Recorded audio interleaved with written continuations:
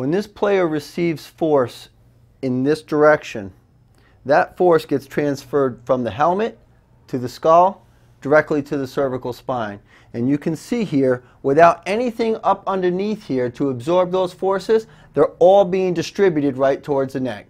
With the Kerr collar in place, we're really reducing the area that was completely exposed to injury. The number one concern in football is head and neck safety.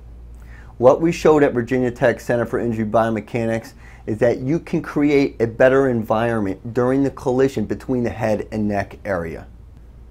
What the study shows is that you can absorb some of the impact energy that gets created in a football collision and redistribute it away from the head and neck area.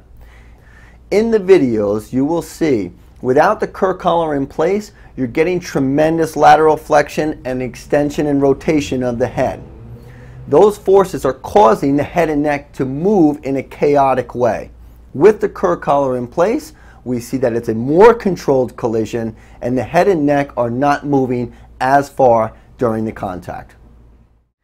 This is a front collision. This is a collision that every player receives in football. In this video, you'll see that as a hit comes directly to the top, the front part of the helmet, you're going to watch the force come down and then back. The head does not go back directly first.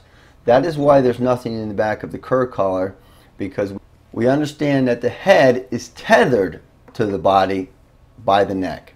So when you talk about hyperextension of the head and neck during collision, we know that with the Kerr collar in place, we're going to reduce hyperextension by first absorbing axial load this direction first. And then what you're going to see in this video is that the head does not hyperextend as much as it would without the Kerr collar in place. So I'm going to run this video first. When you start to analyze the initial impact as that force is coming directly to the head, you're going to start seeing this downward direction and then you're going to get a shear force going backwards. When the Kerr collar is engaged in the helmet, the shear force of the head on the neck is less. Look at the back of the helmet here, this white piece of the bottom of the helmet. Look where it is when the Kerr collar is engaged as the impact force comes to the head. Look where it is here in without the Kerr collar in place, you're getting more of a push back. The force comes this way and back. As we pause this sequence, this is the same collision. But what we've seen is that when we pause it, we see that the helmet here is not in the same position as it is without the Kerr collar in place. With the Kerr collar in place, we see that the impact is absorbed better and the head does not rotate in this direction as far as it would without the Kerr collar. You see here, we're looking at the collision sticker is here. It's already almost off the screen versus look where it is directly in front, right on top of the body in this one. But I also want you to look at, look what the head is doing.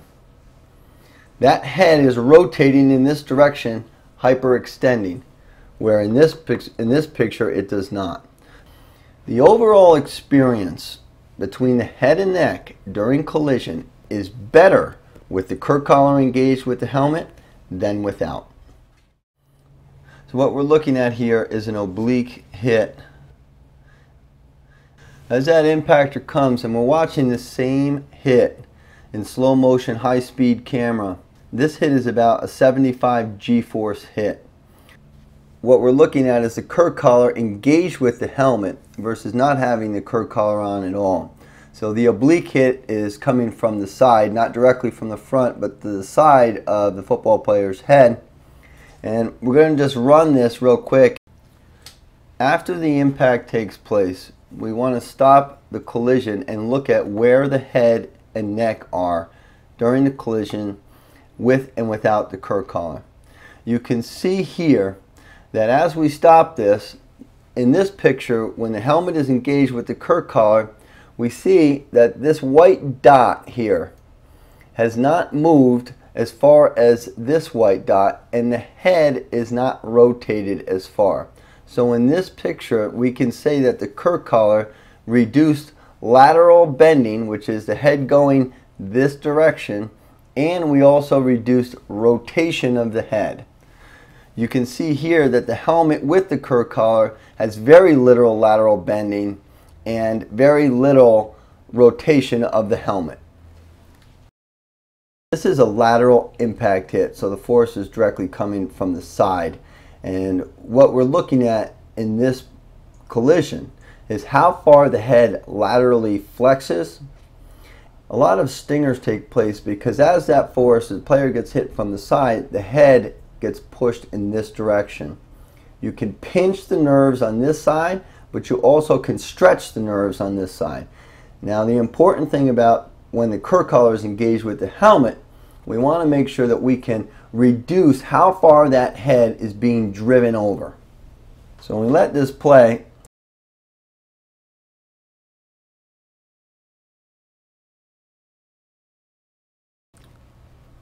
when we pause this lateral impact hit, we want to pick our markers up again. That's the top of the helmet here, it's this white marker, and then we have the white marker here. So during this collision, without the Kerr collar on, if we drop down directly from this marker here, we see that the center of the head is being pushed over here, way past this arm. With the Kerr collar in place, the center of the head is hitting here.